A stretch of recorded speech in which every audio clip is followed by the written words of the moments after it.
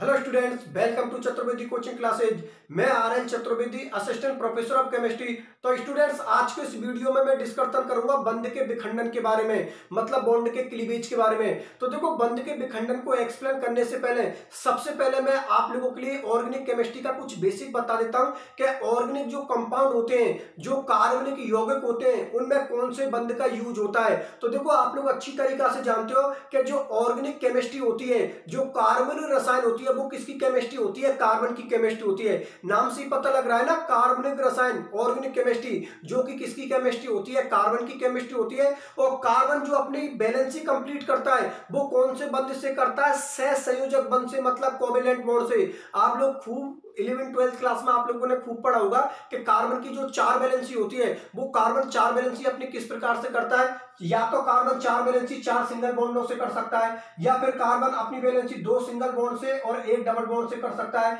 या फिर कार्बन अपनी बैलेंसी एक ट्रिपल बॉन्ड से और एक सिंगल बॉन्ड से कर सकता है। और ये जो बैलेंसी कार्बन अपनी कंप्लीट कर रहा है, इस बंद का क्या नाम है? सह संयोजक बंद, कोवेलेंट बॉन्ड। और हम जानते हैं, एक सह संयोजक बंद में, एक कोवेलेंट बॉन्ड में कितने इलेक्ट्रॉन होते हैं, दो इलेक्ट्रॉन होते हैं। ध्यान में रखना यह बंद किसकी निशानी होती है? सह संयोजक बंद की कोवेलेंट बॉन्ड की। और हम जानते हैं कि एक बंद में कितने इलेक्ट्रॉन होते हैं? दो इलेक्ट्रॉन होते हैं। मेरी बात आप लोगों को अच्छी तरीके से समझ में आ गई ना कि कार्बन जो अपनी चार बैलेंसी कंप्लीट करता है, वो कौन से बंद से करता है? सह संयोजक बंद से मतलब कोवेलेंट बॉन्ड से। और कार्बन इस तरीके से अपनी बैलेंसिंग को कंप्लीट कर सकता है। कार्बन चार सिंगल बॉन्ड से अपनी बैलेंसिंग को कंप्लीट कर सकता है।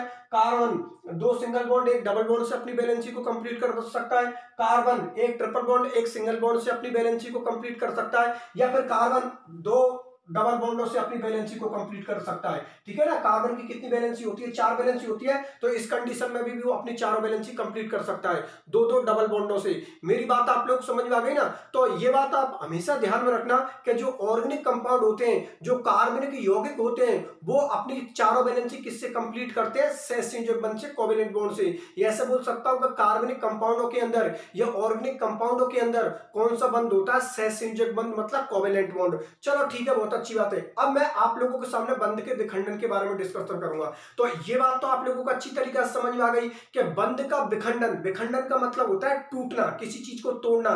तो यहाँ पर हम कौन से बंद को तोड़ेंगे? सह संयोजक बंद को मतलब कोवेलेंट बॉन्ड को। क्योंकि कार्बन जो अपनी चार बैलेंसी कंप्लीट कर रहा है, वो कौन से बंद से कर रहा है? सह संयोजक बंद से। मेरी बात आप लोग समझ में आ गई ना? तो यहाँ पर हम जो बंद का विखंडन समझेंगे, वो कौन से बंद का विखंडन समझेंगे? सह संयोजक बंद का मतलब कोवेलेंट बॉन्ड का। ठीक है ना? तो जो ऑर्गेनिक कंपाउंड होते हैं, उनका बंद का विखंडन कितने प्रकार से होता है? दो प्रकार से होता है। पहला होता है समांश विखंडन मतलब होमोलाइटिक क्लीवेज और दूसरा होता है विश्वांश विखंडन मतलब हेट्रोलाइटिक क्लीवेज एक काम करता हूँ, मैं दोनों टाइपों को आप लोगों को सामने लिख देता हूँ, फिर प्रत्येक को हेडिंग डाल के एक्सप्लेन कर दूँगा। ठीक है ना? तो सबसे पहले मैं दोनों को लिख देता हूँ। पहला टाइप कौन सा हो गया आप लोगों का?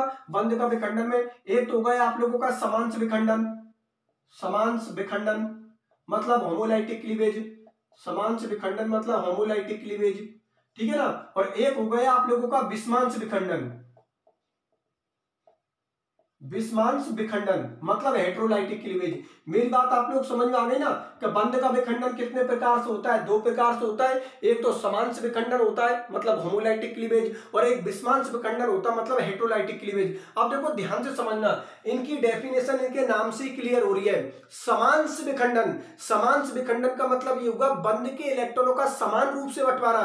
एक बंद में कितने इलेक्ट्रॉन होते हैं? दो इलेक्ट्रॉन होते हैं। और अगर समान रूप से बंटवारा होगा तो क्या होगा कि बंद से जुड़े दोनों एटम दोनों परमाणु एक एक इलेक्ट्रॉन लेकर सेपरेट हो जाते हैं और उनसे जो स्पीसीज बनती है, उसको हम क्या बोलते हैं? मुक्त मूलक मतलब फ्री रेडिकल और दूसरे टाइप में हम डिस्कशन करेंगे विस्मांश विखंडन, जैसा कि उसके नाम से क्लियर हो रहा है। हेट्रोलाइटिक क्लीवेज इसमें क्या होता है कि सहसंयोजक बंध से जो दोनों एटम जुड़े होते हैं, उन दोनों की विद्युत ऋणता दोनों की इलेक्ट्रोनेगेटिविटी अलग अलग होती है, जिसकी वजह से एक पर तो पॉजिटिव चार्ज आता है और एक पर नेगेटिव चार्ज आ जाता है। जिसकी विद्युत ऋणता जिसकी इलेक्ट्रोनेगेटिविटी ज़्यादा होती है, उस पर नेगेटिव चार्ज आ जाता है और जिसकी विद्युत कम होती है, उस पर कौन सा चार्ज आ जाता है? पॉजिटिव मेरी बात आप लोग समझ में आ गई? चलो ठीक है, अब मैं इनका थोड़ा डिटेल से डिस्कशन कर लेता हूँ। तो सबसे पहले मैं डिस्कशन किसका करता हूँ? समांश विखंडन का मतलब होमोलाइटिक क्लीवेज का। तो देख लो आप लोग। ठीक है ना? पहली हेडिंग डाल देते हैं समांश विखंडन मतलब होमोलाइटिक क्लीवेज और इसके बारे में डिस्कशन करते हैं डिटेल से। तो देखो समांश विखंडन को एक्सप्लेन करने के लिए मैं यहाँ पर आप लोगों के लिए सामान्य एग्जांपल ले लेता हूँ। जैसे कि माना कि मैंने ये एग्जांपल ले लिया। इधर मैंने ए ले लिया, बीच में मैंने सहसंयोजक बंध में लगा दिया और इधर भी मैंने ए ले लिया। अब देखो, आप लोगों को पता कि एक बंध में कितने इलेक्ट्रॉन होते हैं, दो इलेक्ट्रॉन होते हैं। और समांश विखंडन के अंदर क्या होता है कि जिस बंध से ये सहसंयोजक बंद होता है, इस सहसंयोजक बंद से जो दोनों एटम जुड़े हुए हैं, उन दोनों की विद्युतता क्या होती है? समान होती है। जैसे कि ये आप लोगों का सहसंयोजक बंद है इधर भी ए है आप लोगों का, इधर भी ए है। इसका मतलब बंध से जुड़े दोनों परमाणु की विद्युतता इलेक्ट्रोनेगेटिविटी समान है। और आप अच्छी तरीका से जानते हो कि जब बंध से जुड़े दोनों परमाणु की विद्युतता अगर समान है तो बंध के इलेक्ट्रॉनों को कोई भी नहीं तोड़ पाएगा। दोनों एटम एक एक इलेक्ट्रॉन लेकर सेपरेट हो जाते हैं। जैसे कि दोनों की विद्युतता अगर बराबर है तो एक इलेक्ट्रॉन ये लेकर सेपरेट हो जाएगा, एक इलेक्ट्रॉन ये लेकर सेपरेट हो जाएगा। इस तरीका से हो जाएँगे। एक इलेक्ट्रॉन इसने ले लिया और एक इलेक्ट्रॉन इसने ले लिया। और बनने वाली जो स्पीसीज होती है, उसको हम क्या बोलते हैं? मुक्त मूलक फ्री रेडिकल ठीक है ना? ये बनने वाली जो स्पीसीज है, इसको हम क्या बोलते हैं? फ्री रेडिकल क्या बोलते हैं? फ्री रेडिकल फ्री रेडिकल अब देखो, एक बात आप हमेशा ध्यान में रखना कि यहाँ पर जो फ्री रेडिकल बने हैं, उन दोनों के पास में एक एक इलेक्ट्रॉन प्रेजेंट है। एक इलेक्ट्रॉन इसके पास में प्रेजेंट है, एक इलेक्ट्रॉन इसके पास में प्रेजेंट है। इस अनपेड इलेक्ट्रॉन की वजह से, क्योंकि जो सिंगल इलेक्ट्रॉन होता है, उसको हम क्या बोलते हैं? अयुग्मित इलेक्ट्रॉन अनपेड इलेक्ट्रॉन और इस इलेक्ट्रॉन की क्रियाशीलता रिएक्टिविटी बहुत ज़्यादा होती है। ये आसानी से किसी से भी रिएक्शन कर सकते हैं, क्योंकि यहाँ पर इनके पास में कितना इलेक्ट्रॉन है? एक इलेक्ट्रॉन और एक इलेक्ट्रॉन होने की वजह से इनकी जो प्रकृति होती है, इनका जो नेचर होता है, वो क्या होता है? अनुचुंबकीय मतलब पैरामैग्नेटिक मेरी बात आप लोगों को समझ में आ गई ना? एक बार मैं फिर से बता देता हूँ आप लोगों के लिए समान विखंडन को, जैसा कि उसकी हेडिंग से क्लियर हो रहा है, समान विखंडन मतलब जो सहसंयोजक बंध से दोनों एटम जुड़े हुए हैं, उन दोनों की विद्युतता क्या होगी? समान होगी। अगर दोनों की विद्युतता समान होगी तो बंध के इलेक्ट्रॉनों का समान रूप से क्या हो जाएगा? बंटवारा हो जाएगा कि भाई एक इलेक्ट्रॉन तू ले और एक इलेक्ट्रॉन मुझे दे दे। ठीक है ना? दो तो दोनों एटम एक एक इलेक्ट्रॉन लेकर सेपरेट हो जाते हैं और उनसे जिस स्पीसीज का निर्माण होता है, उस स्पीसीज को हम क्या बोलते हैं फ्री रेडिकल इस फ्री रेडिकल के पास में सिंगल इलेक्ट्रॉन प्रेजेंट होता है और सिंगल इलेक्ट्रॉन प्रेजेंट होने की वजह से इसकी जो क्रियाशीलता होता है, वो बहुत ज़्यादा होती है। इसका जो नेचर होता है, वो क्या होता है? अनुचुंबकीय मतलब पैरामैग्नेटिक बात मेरी आप लोगों को समझ में आ गई ना? अब इनके बहुत सारे एग्ज़ाम्पल हो सकते हैं। एग्ज़ाम्पल मैं आप लोगों के सामने लिख देता हूँ। देखो एग्ज़ाम्पल के तौर पर आप लोग ले सकते हो एच ले सकते हो, आप लोग एन ले सकते हो ओ ले सकते हो F two C L two B R two I two और भी बहुत सारे हो सकते हैं। कहने का मेरा मतलब ये हुआ कि सहसंयोजक बंध से अगर दोनों एटमों की विद्युतता बराबर हुई तो वो किसका एग्ज़ाम्पल हो जाएगा? समान विखंडन का मतलब होमोलाइटिक क्लीवेज का। मेरी बात आप लोग समझ में आ गई ना? चलो ठीक है, बहुत अच्छी बात है। अब मैं समान विखंडन के लिए अनुकूल परिस्थिति बता देता हूँ। मतलब जो होमोलाइटिक क्लीवेज है, उसके लिए कंडीशन बता देता हूँ कि इन कंडीशनों में आप लोगों का समान से विखंडन होगा। मेरी बात आप लोगों को समझ में आ गई ना? तो चलो ठीक है, मैं हेडिंग डाल देता हूँ। समान विखंडन के लिए अनुकूल परिस्थितियाँ। मतलब इन इन कंडीशनों में आप लोगों का समान विखंडन मतलब होमोलाइटिक क्लीवेज होगा। बात आप लोग समझ में आ गई? चलो ठीक है, बहुत अच्छी बात है। देखो कंडीशनों को लिख देता हूँ आप लोगों को सामने।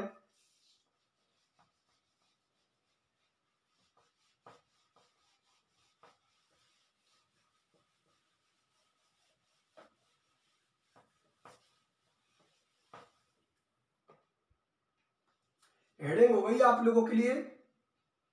समांश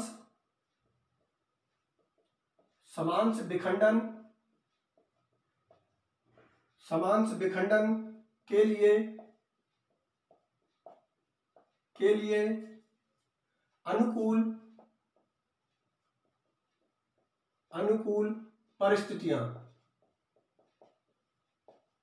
अनुकूल परिस्थितियाँ, समान से विखंडन के लिए अनुकूल परिस्थितियाँ। मतलब इन कंडीशन में आप लोगों का कौन होगा? समान से विखंडन होगा मतलब होमोलाइटिक क्लीवेज होगा। तो ध्यान में रखना, इसकी जो पहली कंडीशन है, ये होगा उच्च ताप मतलब हाई टेम्परेचर पर होगा आप लोगों का। उच्च ताप हाई टेम्परेचर पर होगा। सेकेंड कंडीशन है इसकी तीव्र प्रकाश मतलब हाई लाइट होगी इसकी। तीव्र प्रकाश हाईलाइट होगी मतलब सनलाइट की प्रेजेंस में होगी आप लोगों की। तीसरी जो इसकी कंडीशन है, वो है गैसीय अवस्था मतलब गैसेज स्टेट ठीक है ना? गैसीय अवस्था मतलब गैस स्टेट गैस स्टेट के अंदर ये आप लोगों का समान से विखंडन होगा।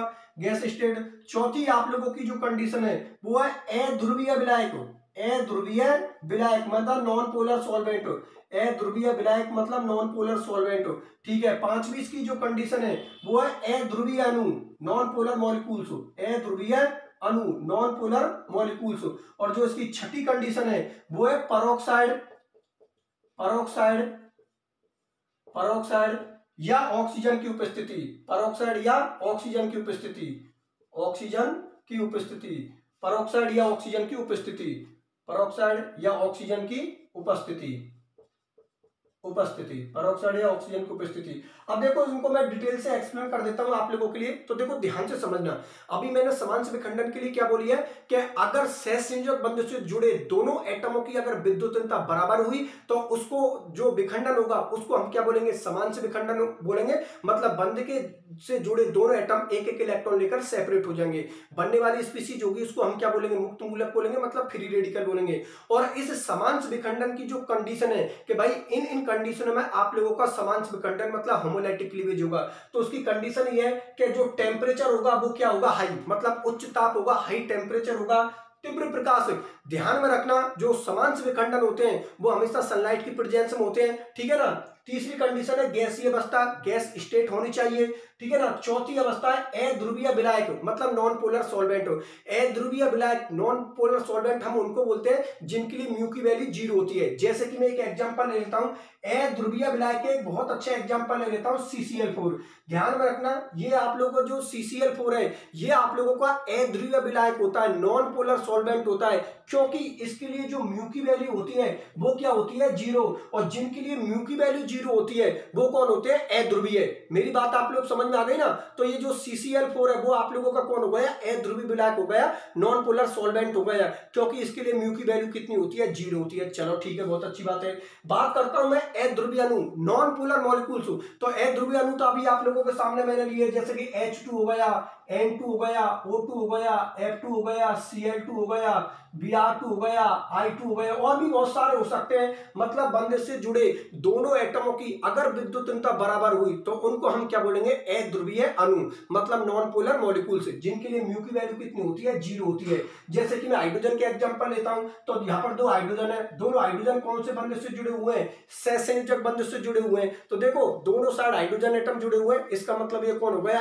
अध्रुवीय अणु। नॉन पोलर सॉल्वेंट जिनके लिए म्यू की वैल्यू कितनी होती है? ज़ीरो होती है। मेरी बात आप लोग समझ में आ गई ना? और एक होती है ध्रुवीय। ध्रुव कितने होते हैं? केमिस्ट्री में दो ध्रुव होते हैं, एक प्लस होता है और एक माइनस होता है। ठीक है ना? तो अगर बंध से जुड़े दोनों एटमों की विद्युतता अलग अलग हुई तो उनको हम क्या बोलेंगे? ध्रुवीय। ध्रुव नाम से पता लगना ध्रुवीय। इसका मतलब ध्रुव बनने प्लस और माइनस और अध्रुवीय का मतलब ये होगा बंध से जुड़े दोनों एटमों की विद्युतता अगर समान हुई तो कॉमन सी बात है, वहाँ पर रेडिकल बनेंगे। और रेडिकल के पास में आपको पता कोई चार्ज होता नहीं। उनके पास में तो सिंगल इलेक्ट्रॉन होता है। इसलिए जो फ्री रेडिकल होते हैं, वो उदासीन होते हैं न्यूट्रल होते हैं, क्योंकि उनके पास में कोई चार्ज नहीं होता है। मेरी बात आप लोगों को समझ में आ गई ना? चलो ठीक है, बहुत अच्छी बात है। और जो आपकी लास्ट कंडीशन है, वो है परोक्साइड या ऑक्सीजन की उपस्थिति। ठीक है ना? ये रिएक्शन किसकी प्रेजेंस में होते हैं? परोक्साइड या ऑक्सीजन की उपस्थिति। एक बात आप हमेशा ध्यान रखने, एक ट्रिक बता देता हूँ आप लोगों के लिए कि जब भी कभी कोई रिएक्शन हो रही है और उसके एरो पर एच न्यू ठीक है ना? उसके एरो पर एच न्यू या आर टू ओ टू लिखा मिल गया है ना? तो ध्यान में रखना, उससे हमेशा हमेशा मुक्त मूलक बनते हैं, उससे हमेशा फ्री रेडिकल बनते हैं। एक बार फिर से मैं आप लोगों के लिए बता देता हूँ, अगर एरो पर ऐसा रिएक्शन करवाते हैं हम तो एरो पर जो चीज़ होती है, कभी कैटेलिस्ट ले लेते हैं, कभी टेम्परेचर ले लेते हैं, ठीक है ना? अगर इसी एरो पर ऐसा है, सूर्य का प्रकाश, ये किसकी निशानी होती है? सनलाइट की उपस्थिति होती है। ठीक है ना? एच न्यू किसकी होती है? सूर्य के प्रकाश की उपस्थिति में रिएक्शन हो रही है। और ये कौन हो गया? आर टू ओ टू कौन होता है? परोक्साइड ठीक है ना? यहाँ पर मैंने आर क्यों यूज़ किया? क्योंकि आर एल्किल ग्रुप होता है और एल्किल ग्रुप में कौन होता है? कार्बन और मैंने कार्बन क्यों यूज़ कर रखा है? क्योंकि आप लोगों को पता है, हम ऑर्गेनिक केमिस्ट्री पढ़ रहे हैं। और ऑर्गेनिक केमिस्ट्री किसकी केमिस्ट्री होती है? कार्बन की केमिस्ट्री होती है। इसलिए मैंने यहाँ पर एच टू ओ टू नहीं लिया। आर टू ओ टू लिया एच टू ओ टू को हम क्या बोलते हैं? हाइड्रोजन पर बोलते हैं। यहाँ पर आर टू ओ टू इसलिए लिया क्योंकि हम ऑर्गेनिक केमिस्ट्री पढ़ रहे हैं। और ऑर्गेनिक केमिस्ट्री किसकी केमिस्ट्री होती है? कार्बन की केमिस्ट्री होती है। और आर एल्किल ग्रुप होता है। एल्किल ग्रुप में आप लोग अच्छी तरीके से जानते हो कार्बन होता है। ठीक है ना? तो कभी भी अगर एरो पर एच न्यू या आर टू ओ टू लिखा मिल गया तो आप लोग आसानी से समझ जाना कि इनसे जो स्पीसीज इधर की तरफ़ बनेगी प्रोडक्ट में, वो कौन होंगे? मुक्त मूलक होंगे फ्री रेडिकल होंगे बात मेरी आप लोगों को समझ में आ गई ना? चलो ठीक है, बहुत अच्छी बात है। तो ये जो मैंने कंडीशन आप लोगों को सामने बताई है, वो किसकी बताई है? मैंने समान से विखंडन की मतलब होमोलाइटिक क्लीवेज की। एक बार फिर से बता देता हूँ। आप लोगों के सामने मैंने छह कंडीशन लिखी है। इन छह कंडीशनों में आप लोगों का समान से विखंडन होगा। पहली कंडीशन कौन सी है? उच्च ताप मतलब हाई टेम्परेचर दूसरी कंडीशन तीव्र प्रकाश मतलब हाईलाइट तीसरी कंडीशन गैसीय अवस्था मतलब गैसीय स्टेट चौथी कंडीशन अध्रुवीय विलायक मतलब नॉन पोलर सॉल्वेंट पांचवी कंडीशन अध्रुवीय अणु मतलब नॉन पोलर मॉलिक्यूल्स और जो छठी कंडीशन है, वो है परोक्साइड या ऑक्सीजन की उपस्थिति. ठीक है ना? इस तरीके के अगर कंडीशन बनती है तो समझ जाना वो रिएक्शन कौन सी होगी? फ्री रेडिकल रिएक्शन होगी मतलब मुक्त मूलक रिएक्शन होगी. चलो, ठीक है, बहुत अच्छी बात है. तो ये कंप्लीट होता है आप लोगों का समांश विखंडन. अब मैं अगली हेडिंग डाल देता हूँ विस्मांश विखंडन मतलब हेट्रोलाइटिक क्लीवेज उसका डिस्कशन करते हैं। चलो देख लो।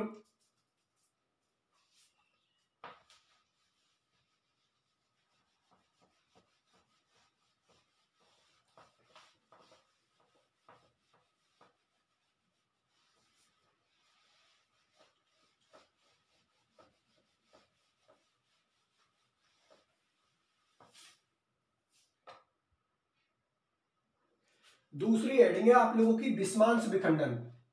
दूसरी हेडिंग है आप लोगों की विस्मांश विखंडन। विस्मांश विखंडन। विस्मांश विखंडन। तो देखो विस्मांश विखंडन को मैं आप लोगों को सामने एक्सप्लेन करने के लिए एक ले रहा हूँ। जैसे कि मैंने यहाँ पर ले लिया ए बी ठीक है ना? किसको ले लिया? ए बी मतलब ये कौन है? सहसंयोजक बंद है और इस बंद से दो दो एटम जुड़े हुए हैं आप लोगों के, ठीक है ना? इस सहसंयोजक बंद में कितने इलेक्ट्रॉन है? दो इलेक्ट्रॉन है और इस बंद से जुड़े दोनों परमाणु की विद्युतता क्या है? अलग अलग मैं कंडीशन दोनों ही फॉलो कर रहा हूँ। मैं ये मानकर चल रहा हूँ कि माना कि ए से ज़्यादा विद्युतता किसकी है? बी की। तो कॉमन सी बात है बॉन्ड के इलेक्ट्रॉन किसकी तरफ़ शिफ्ट हो जाएँगे? बी की तरफ़ शिफ्ट हो जाएँगे। और अगर बॉन्ड के इलेक्ट्रॉन बी की तरफ़ शिफ्ट हो जाएँगे तो ए पर कौन सा चार्ज आ जाएगा? पॉजिटिव और बी पर कौन सा चार्ज आ जाएगा नेगेटिव चलो ठीक है, बहुत अच्छी बात है। कंडीशन ये भी तो हो सकती है। आप ये बोल सकते हो कि, सर, आपने जो बी की विद्युत ऋणता ज़्यादा मानी है ए की भी तो ज़्यादा हो सकती है। बिल्कुल हो सकती है। और अगर आप यहाँ पर ए की ज़्यादा विद्युत ऋणता हुई तो कॉमन सी बात है बॉन्ड के इलेक्ट्रॉन किसकी तरफ़ शिफ्ट हो जाएँगे? ए की तरफ़। और ए की तरफ़ अगर बॉन्ड के इलेक्ट्रॉन शिफ्ट हो जाएँगे तो ए पर तो कौन सा चार्ज आएगा? नेगेटिव चार्ज और बी पर कौन सा चार्ज आएगा? पॉजिटिव चार्ज मेरी बात आप लोगों को समझ में आ गई ना? कहने का मेरा मतलब ये हुआ कि बंद से जुड़े दोनों परमाणुओं की अगर विद्युत ऋणता अलग अलग हुई। और वहाँ पर अगर आप बंद को तोड़ना चाहते हो तो उसको हम क्या बोलेंगे? विस्मांश विखंडन मतलब हेट्रोलाइटिक क्लीवेज मतलब बंद के इलेक्ट्रॉनों का जो बंटवारा होगा वो असमान रूप से होगा। असमान रूप से कैसे होगा? जैसे कि मैंने ऐसे बोली है कि ये सहसंयोजक बंद है। ये आप लोगों के लिए मैंने पहले ही बता दी कि हम ऑर्गेनिक केमिस्ट्री पढ़ रहे हैं। और ऑर्गेनिक केमिस्ट्री में जिस बंद को यूज़ करते हैं, वो बंद कौन सा होता है? सहसंयोजक बंद मतलब कोवेलेंट बॉन्ड यहाँ पर दोनों परमाणु की विद्युतता अलग अलग है। पहली कंडीशन में मैं ये मान के चल रहा हूँ कि माना कि ए से ज़्यादा विद्युतता किसकी है? बी की। तो कॉमन सी बात है बॉन्ड के इलेक्ट्रॉन किसकी तरफ़ शिफ्ट हो जाएँगे? बी की तरफ़। तो ए पर तो कौन सा चार्ज आ जाएगा? पॉजिटिव चार्ज और बी पर कौन सा चार्ज आ जाएगा? नेगेटिव चार्ज लेकिन अगला क्वेश्चन आपका ये हुआ कि सर आप बी की विद्युतता को ज़्यादा मान के चल हो। ए की भी तो ज़्यादा हो सकती है। बिल्कुल हो सकती है।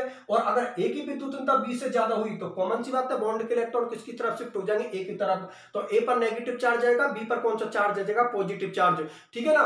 तो यहाँ पर जो बनेंगे, वो कौन बन गए आप लोगों के? आयन ऑर्गेनिक केमिस्ट्री चल रही है तो अगर पॉजिटिव चार्ज आया है कार्बन पर अगर पॉजिटिव चार्ज आया है तो उसको हम क्या बोलेंगे? कार्बोकेटाइन और कार्बन पर अगर नेगेटिव चार्ज आ रहा है तो उसको हम क्या बोलेंगे? कार्बो एनाइन बात मेरी आप लोगों को समझ में आ गई ना? चलो ठीक है, अब इनके एग्ज़ाम्पल हो सकते हैं। देखो एग्ज़ाम्पल कौन कौन से हो सकते हैं? जैसे कि आप लोगों की कौन हो सकता है? एस हो सकता है एच हो सकता है एच हो सकता है, और भी बहुत सारे हो सकते हैं।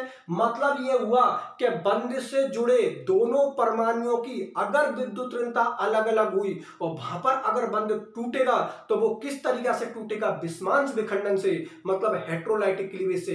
बंद के इलेक्ट्रॉनों का असमान रूप से क्या होगा? बंटवारा होगा। एक के पास में पॉजिटिव चार्ज आ जाएगा, एक के पास में नेगेटिव चार्ज आ जाएगा। जिसके पास में पॉजिटिव चार्ज आएगा, उसको हम कार्बोकेटाइन बोलेंगे और जिसके पास में नेगेटिव चार्ज आएगा, उसको हम कार्बो एनाइन बोलेंगे। मेरी बात आप लोगों को समझ में आ गई? चलो ठीक है, बहुत अच्छी बात है। तो देखो, ये होता है आप लोगों का विस्मांश विखंडन। अब मैं विस्मांश विखंडन के लिए भी कंडीशन बता देता हूँ। कि भाई जो विस्मांश विखंडन होता है हेट्रोलाइटिक क्लीवेज होता है, वो किन किन कंडीशनों में होता है? तो उनकी कंडीशनों को भी मैं आप लोगों को सामने लिख देता हूँ कि विस्मांश विखंडन किन किन कंडीशनों में होता है। हेडिंग डाल देता हूँ विस्मांश विखंडन के लिए अनुकूल परिस्थितियाँ।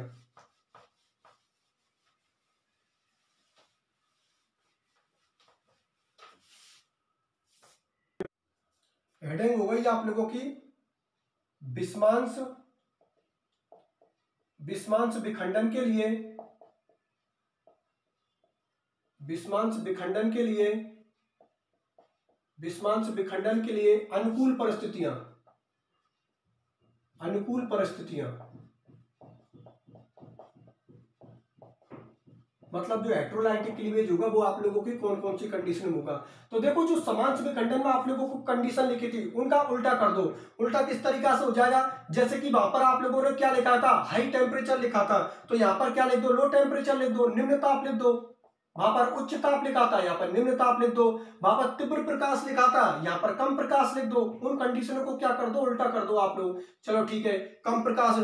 तीसरी, वहाँ पर कौन सी अवस्था थी आप लोगों की? गैस अवस्था थी। यहाँ पर लिख दो बिलियन अवस्था सोल्यूशन स्टेट बिलियन अवस्था मतलब सोल्यूशन स्टेट चौथी, आप लोगों की जो कंडीशन है, वो हो गई आप लोगों की ध्रुवीय विलायक मतलब पोलर सॉल्वेंट ध्रुवीय विलायक मतलब पोलर सॉल्वेंट ध्रुवीय विलायक मतलब पोलर सॉल्वेंट और जो पांचवी कंडीशन है वो लिख देना आप लोगों की ध्रुवीय अनु ध्रुवीय अनु मतलब पोलर मॉलिक्यूल्स मेरी बात आप लोगों को समझ में आ गई ना? देखो इधर देखिए, एक बार फिर से मैं इसको एक्सप्लेन कर देता हूँ। देखो, मैंने आप लोगों के लिए क्या बात बताई है कि विस्मांस विखंडन के लिए जो अनुकूल परिस्थिति होंगी मतलब इन कंडीशनों में आप लोगों का विस्मांस विखंडन होगा। ठीक है ना? तो जो समांस विखंडन के लिए कंडीशन बताई थी, उन कंडीशनों को आप उल्टा कर दो। उल्टा कैसे कर दोगे? यहाँ पर क्या लिखोगे आप लोग? निम्न ताप मतलब लो टेम्परेचर लिख देना। ठीक है ना? कम प्रकाश लिख देना लो लाइट लिख देना। यहाँ पर लिख देना बिलियन अवस्था मतलब सोल्यूशन स्टेट में होंगी आप लोगों की रिएक्शन ठीक है ना? चौथी जो कंडीशन है वो कौन है? ध्रुवीय विलायक। पोलर सॉल्वेंट अब ये ध्रुवीय विलायक का सबसे बेस्ट एग्जांपल कौन होता है? वाटर होता है। आप लोग अच्छी तरीका से जानते हो कि जो पोलर सॉल्वेंट होते हैं, ध्रुवीय विलायक होते हैं, उनका सबसे बेस्ट एग्जांपल कौन होता है? वाटर होता है मतलब जल होता है। क्यों? क्योंकि वाटर पर पोल्स बनते हैं। एक प्लस बनता है, एक माइनस बनता है। हम जानते हैं कि वाटर किसमें टूटता है? एच प्लस में और ओ एच माइनस में। और हम ये भी जानते हैं कि केमिस्ट्री में जो पोल्स होते हैं, ध्रुव होते हैं, वो कितने होते हैं? दो होते हैं। एक पॉजिटिव होता है, एक नेगेटिव होता है। और इनके लिए म्यू की वैल्यू क्या होती है? इज़ नॉट ज़ीरो मतलब कुछ ना कुछ इनकी वैल्यू होती है। अगर कुछ ना कुछ इनकी वैल्यू होगी तो ऐसे मॉलिक्यूल्स होंगे या ऐसे सॉल्वेंट होंगे, उनको हम क्या बोलेंगे? ध्रुवीय बोलेंगे मतलब पोलर बोलेंगे। मेरी बात आप लोग समझ में आ गए ना? इसलिए कभी भी आप लोगों से कोई पूछ ले ध्रुवीय विलायकों का पोलर सॉल्वेंट का सबसे बेस्ट एग्ज़ाम्पल कौन है तो आप वाटर का नाम लिख देना। क्योंकि वाटर किसमें टूटता है? एच प्लस में और ओ एच माइनस में। क्योंकि वाटर के पास में एक के पास में पॉजिटिव आता है, दूसरे पास में नेगेटिव आता है। इसका मतलब ध्रुव बन तो रही है। भाई, ध्रुव कितने होते हैं? दो ही तो होते हैं। एक प्लस होता है, एक माइनस होता है। तो वाटर पर ध्रुव बनने। एच प्लस और ओ एच माइनस बात आप लोग समझ में आ गए चलो ठीक है, बहुत अच्छी बात है। चौथी कंडीशन कौन हो गई? ध्रुवीय विलायक मतलब पोलर सॉल्वेंट जिसका बेस्ट एग्ज़ाम्पल कौन हो गया? वाटर हो गया। पांचवी कंडीशन है वो कौन है? ध्रुवीय अणु पोलर मॉलिक्यूल्स तो पोलर मॉलिक्यूल्स में वही आप लोगों के अभी आप लोगों के सामने एग्ज़ाम्पल लिए थे। जो जो प्लस माइनस में टूटता वो कौन होते? हैं सभी ध्रुवीय अणु होते हैं पोलर मॉलिक्यूल्स होते हैं। जैसे कि एग्ज़ाम्पल के तौर पर एस ले लिया।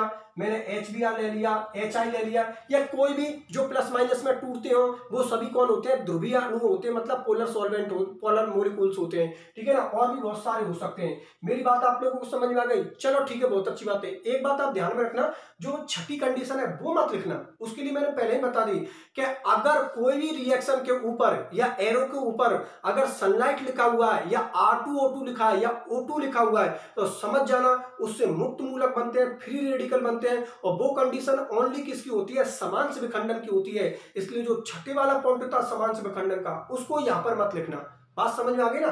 तो इस समान विस्मांस विखंडन के लिए हेट्रोलाइटिक क्लीवेज के लिए मैंने कितनी कंडीशन बताई है? पाँच कंडीशन बताई है। पाँचों कंडीशनों को अच्छी तरीका से याद कर लेना, ठीक है ना? एग्ज़ाम में क्वेश्चन इस तरीका से बनता है कि भाई बंद का विखंडन कितने प्रकार से होता है? लिखिए। तो आप आराम से लिख देना बंद का विखंडन कितने प्रकार से होता है? दो प्रकार से होता है। एक समान विखंडन होता है और एक विस्मांस विखंडन होता है। मतलब एक होमोलाइटिक क्लीवेज होता है, एक हेट्रोलाइटिक क्लीवेज होता है। और किस तरीका से होता है? वो सारी चीज़ें मैंने आप लोगों के सामने एक्सप्लेन कर दी। ठीक है ना? तो ठीक है स्टूडेंट्स आज के लेक्चर को तो मैं यहीं तक रखता हूँ। अगले लेक्चर में फिर हम अगले टॉपिक का डिस्कशन करेंगे। ठीक है स्टूडेंट्स फिर मिलते हैं अगले लेक्चर में। धन्यवाद।